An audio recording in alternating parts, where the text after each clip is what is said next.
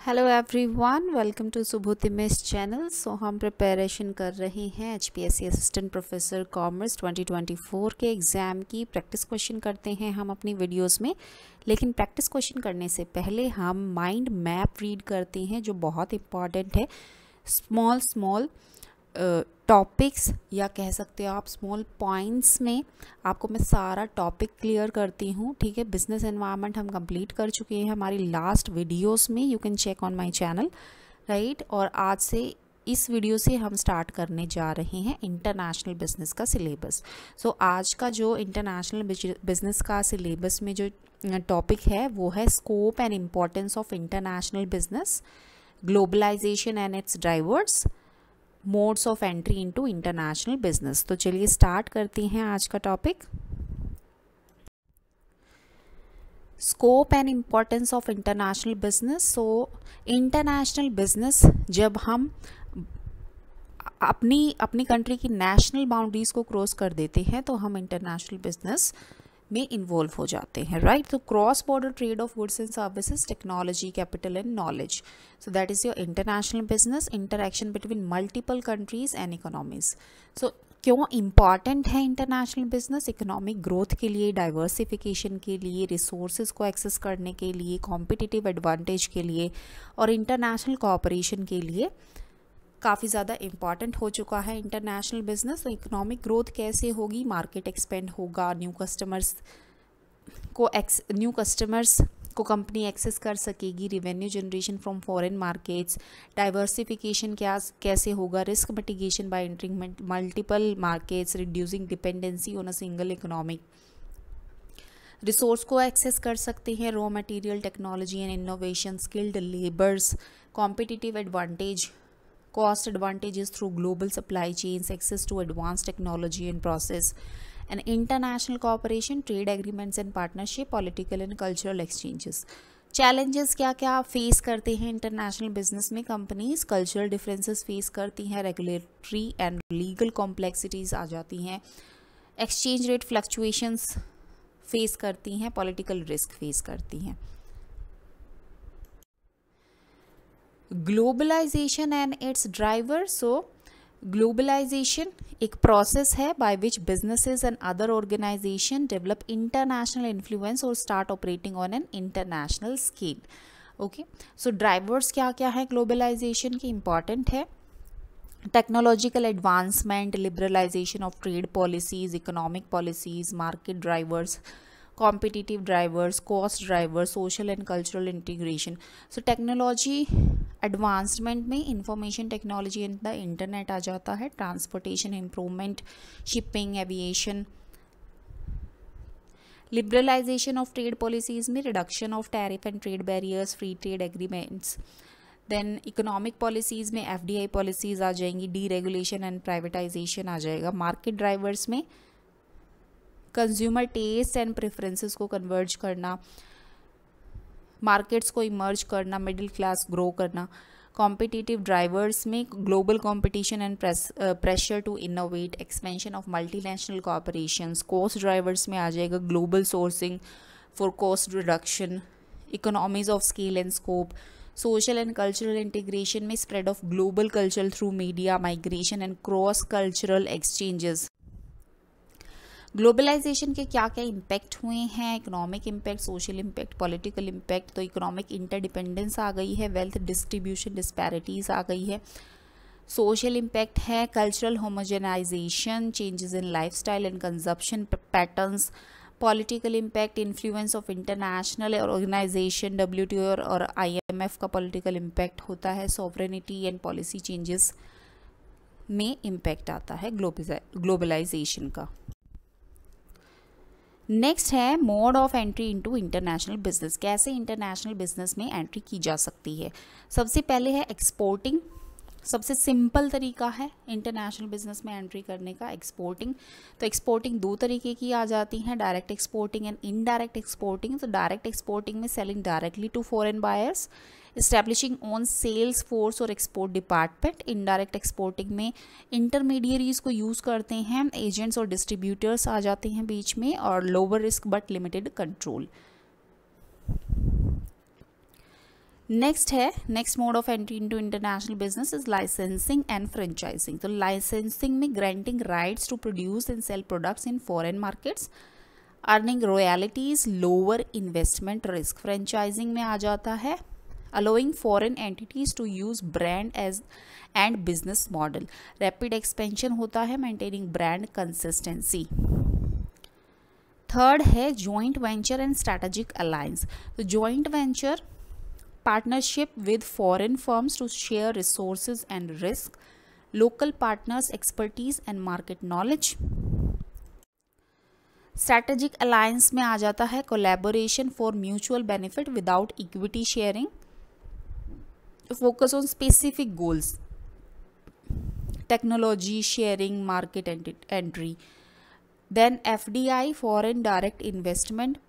Greenfield investment greenfield investment क्या होती है? जब न्यू ऑपरेशन इस्टेब्लिश करते हैं from the scratch full control होता है सिग्निफिकेंट इन्वेस्टमेंट रिक्वायर्ड होती है. ब्राउन फ़ील्ड इन्वेस्टमेंट जब कोई एग्जिस्टिंग फॉरेन बिज़नेस होता है, उसको एक्वायर कर लेना.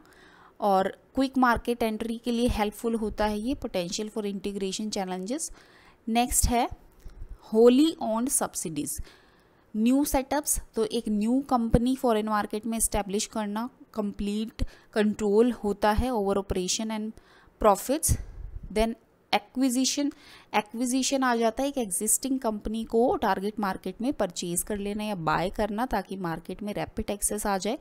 और इंफ्रास्ट्रक्चर स्टैब्लिश हुआ मिल जाए। ठीक है? Next is contract manufacturing and outsourcing तो कॉन्ट्रैक्ट मैन्युफैक्चरिंग क्या है? Production outsourced from outsourced to foreign firms cost saving हो जाती है कोर एक्टिविटीज़ पे फोकस कर पाते हैं। Non outsourcing not core activities जो कंपनी की नॉन कोर एक्टिविटीज़ हो, होती हैं उनको आउटसोर्स करा लिया जाता है जैसे आईटी कस्टमर सर्विस तो ताकि ऑपरेशनल इफ़िशियंसी और कॉस्ट मैनेजमेंट किया जा सके। Next is turnkey project turnkey contracts होते हैं तो फॉर्म सेटअप अ प्रोजेक्ट एक प्रोजेक्ट को सेटअप करेगी उसको हैंड ओवर कर देगी किसी फॉरेन क्लाइंट को और कंप्लीशन पे जो फॉरेन क्लाइंट होगा वो दोबारा से हैंड ओवर कर देंगे फॉर्म को। ठीक है? ये कॉमन है किस चीज़ में? इंफ्रास्ट्रक्चर में और लार्ज स्केल प्रोजेक्ट्स में, जो टर्न की प्रोजेक्ट्स होते हैं। So that was our whole topic small mind map था जिससे आपको जल्दी जल्दी रिवाइज भी हो गया। अगर आपने डिटेल में पढ़ रखा है तो इस शॉर्ट माइंड मैप से हमने जल्दी से रिवाइज कर लिया राइट सो so, अभी हम स्टार्ट करते हैं practice question question number one which of the following is not a benefit of international business international business का इनमें से कौन सा बेनिफिट नहीं है? ठीक है?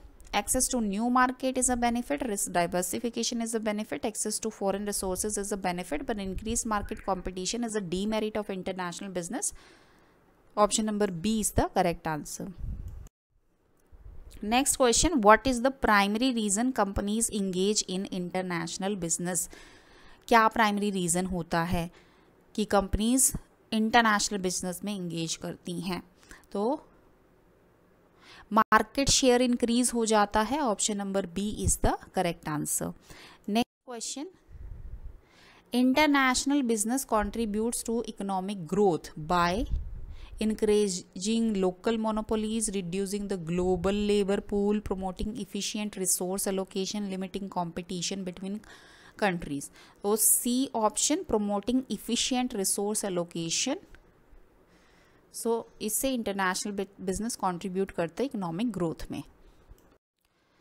Next which of the following challenges is associated with international business international business से कौन कौन से चैलेंजेस एसोसिएट हैं?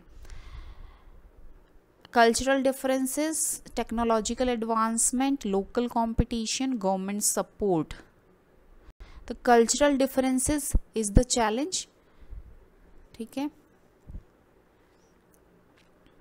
Next question a key driver for international business international business का की ड्राइवर क्या है? High domestic competition no local market saturation enhance technology and communication domestic market expansion option number C enhance technology and communication question is globalization is best described as oh globalization the increasing interconnectedness of economies worldwide, that is globalization. Option b. Question is which of the following is a major driver of globalization इनमें से कौन सा major driver है globalisation का that is technological advancement option number A next question what role does technology play in globalization कौन सा role play करती है ग्लोबलाइजेशन में technology so it reduces communication cost and barriers it increases protectionism it limit access to foreign market it create more barriers to trade so option number A is the correct answer Question is, the liberalization of trade policies contributes to globalization by reducing barriers to international trade तो liberalisation की जो trade policy है, वो globalisation को globalisation को कैसे contribute करेगी? वो इंटरनेशनल ट्रेड की जो बैरियर्स होती है, उनको रिड्यूस कर देगी। Option number C is the correct answer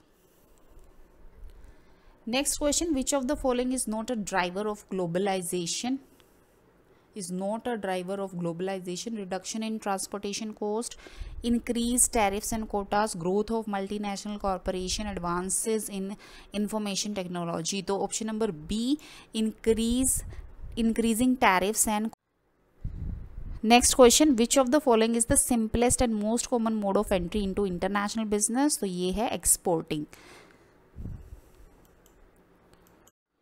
question is licensing is a mode of entry in which? In which a company allows a foreign company to produce its product in exchange for loyalties. Option number b is licensing. Next question a joint venture is characterized by a company entering a foreign market on its own a partnership between a domestic and a foreign company. Yes. Option number b it is a characteristic of joint venture.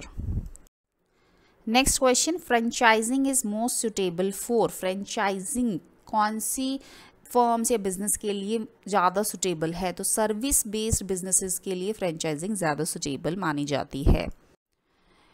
Next is which mode of entry involves a company directly investing in a foreign market by building new operational facilities so which mode of entry involves a company directly involved in a foreign market by building a new operational facilities new operational facilities जब आ, बात करते हैं तो यहाँ पे आ जाती है आपकी ग्रीन फ़ील्ड इन्वेस्टमेंट ठीक है? फ्रॉम द स्क्रैच जब कंपनी स्टार्ट करती है that is greenfield investment option number B is the correct answer which of the following is a disadvantage of joint ventures joint venture का क्या disadvantage है? So so, potential for conflict between partners partners के बीच में conflict हो जाना that is a disadvantage of joint venture next question contract manufacturing refers to contract manufacturing क्या refer करती है? Option number B hiring a foreign company to produce goods foreign company को hire कर लेना गुड्स प्रोड्यूस करने के लिए that is contract manufacturing next question turnkey project are typically associated with it is associated with building large infrastructure project for a foreign client option number B next question in which mode of entry does a company operate under the rules and regulation of a foreign country but maintain its own management and operation तो ये आपका आ जाता है wholly owned subsidiary में। Option number C Question is which entry mode involves selling the rights to use a company's brand name and operating system? तो किसमें आता है ये आता है franchising में Question is which of the following is an advantage of franchising as a mode of entry? So rapid expansion आ जाता है with limited capital investment is the advantage of franchising. Next question greenfield investment offers greenfield investment क्या offer करती है? Share control with local partner complete control over operation and brand limited risk and investment dependence on foreign management so option number B complete control over operation and brand. तो क्योंकि company खुद from the scratch से सब कुछ start करती है, सब कुछ स्टैब्लिश करती है। Next question which mode of entry is best suited for companies looking to enter a market with high cultural differences so जब मार्केट में बहुत ज़्यादा बड़े लेवल पे कल्चरल डिफरेंसेस होती हैं तो कंपनीज़ कौन सा मोड ऑफ़ एंट्री ढूंढती हैं मार्केट में एंटर करने के लिए? That is option number C joint venture Question is strategic alliances typically involve. Strategic alliances typically involved option number B collaboration without forming a new entity.